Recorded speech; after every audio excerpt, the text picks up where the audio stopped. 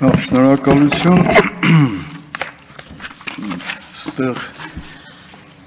երկար քննարկված օրենսդրական նախաձեռնությունը գովազդի մասին օրենքում փոփոխություններ լրացումներ կատարելու մասին հարցը, որ ներկայացում ազգային ժողովի քննարկմանը Առաջին ընթերցման ընդունելու համար ես փորձեմ իրավիճակը ներկայացնել 2019 թվականի հունիսի 19-ին ազգային ժողովի կողմից ընդունվել օրենսդրական փոփոխություն գովազդի մասին օրենքով, որի ժամանակ ինտերնետ շահումով խաղերի համար գովազդի որոշակի սահմանափակման պայմաններում այնուամենայնիվ հնարավորություն է բացվել հեռուստատեսությամբ, ռադիոյով, համացանցով գովազդներ իրականացնելու համար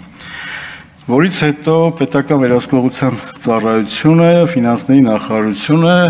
սկսել են մշտադիտարկումներ իրականացնել 2000 թվականից արդեն ուժի մեջ մտած այդ գովազդային դաշտում, որպեսզի հասկանանք ինչ է կատարում եւ նոր ռիսկեր կան հանրության համար եւ հասկացել ենք, որ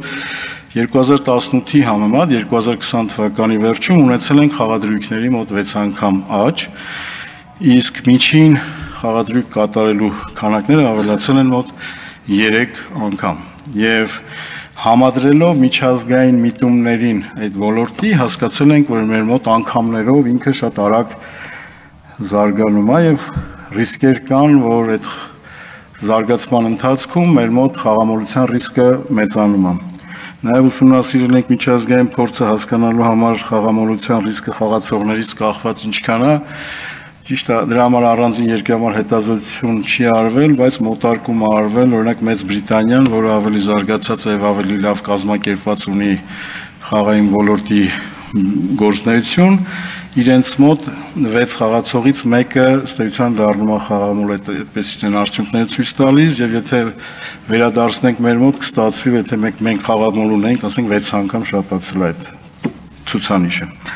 Եվ այս առումով հասկանալով որ ռիսկեր ունենք, մենք հիմա վերադառնում ենք այն կարգավորումներին, որ ունեցել ենք մինչև 2019 թվականը եւ ըստ էություն առաջարկում ենք ինտերնետ շահումով խաղերի մասին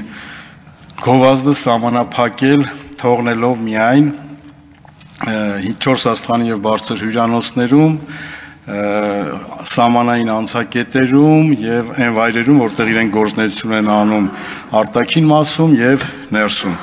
Սրանով փորձելով իրավիճակը մի փոքր ավելի մեղմելով եւ գնահատելով այդ խաղամոլության հնարավոր ռիսկերից հետ պայլը եւ մի գործողություն էլ են կանում տոտալիզատորները, որոնք խաղադրույքներ են կատարում իրադարձությունների վրա, նույնպես մոտարկվել է նույն սահմանափակումներին, որովհետեւ հիմա մեր մոտ գործնեությունը 4 լիցենզավորող ընկերությունների ինտերնետ շամով խաղերի նույն գործունեությունն են իրականացնում այլ տոտալիզատորի լիցենզիայով նույնպես եւ նրանց ապրանքային նշանները ֆիրմային անվանումները համընկնում են եւ այս առումով առաջարկում ենք առաջին ընթերցմամբ քննարկել եւ հաստատել ինտերնետ շամով խաղերի մասին Էս կներեք գովազդի մասին օրենքի փոփոխությունները ու միաժամանակ ունենք նաև գնահատում հանրային քննարկումների ժամանակ նաև արձագանք, որ ինքը բացական ազդեցություն այնուամենայնիվ ունենալու է եւ գնահատվում էր փորձագիտական գնահատականներով եւ գովազդ իրականացվող զանգվածային լրատվական միջոցների կողմից սկզբում բարձր թվեր էին ասվում, հա 60-70% իրենց շրջանառության մեջ կազմում է այս ոլորտից պատվիրված գովազդները Եվ սա շատ մեզ մտահոգեց, որովհետև եթե մենք ստեղ խաղամոլության ռիսկի դեմ ենք պայքարում, հասկացանք, որ եթե հանկարծ հասած լինենք այն մակարդակի, որ մեր զանգվածային լրատվության միջոցը նման կախվածություն ունենա նաև խաղային բիզնեսից, ավելի վտանգավոր եւ դժվար հնարավորություն կլինի վերադառնալ ազատ անկախ մամուլի եւ հնարավորությունների եւ փորձեցինք գնահատել եւ գնահատեցինք հասկացանք որ այդքան էլ բարձր չի միջին ցուցանիշը ըստ մեր գնահատականների որը ստացվել է վիճակագրական ծառայության հրապարակած ցուցանիշների եւ կազմակերպիչների խաղային ոլորտը կազմակերպողների հրապարակած հաշվետվություններից ֆինանսական արդյունքում ստացվել է որ 20-ից 25% են կազմում իրենց կշիռը խաղային ոլորտի գործունեության դաշտում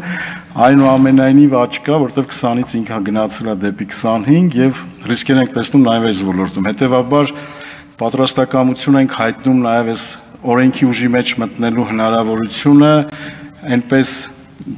ձևավորել, որպիսի մեր զանգվածային լրատվության միջոցների համար խնդիրներ չստեղծենք։ Շնորհակալություն այսքանը։